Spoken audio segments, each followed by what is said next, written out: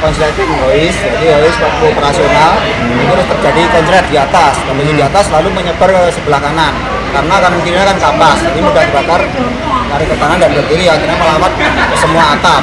Padahal atap semua kan banyak kapasnya jadi kapas semua bakar ya sampai kita kita mencari pakai air pakai pemadam naik ke atas pabrik akhirnya belum mati juga.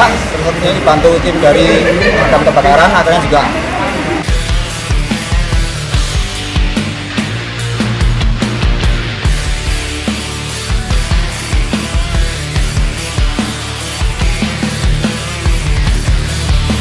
Bisa.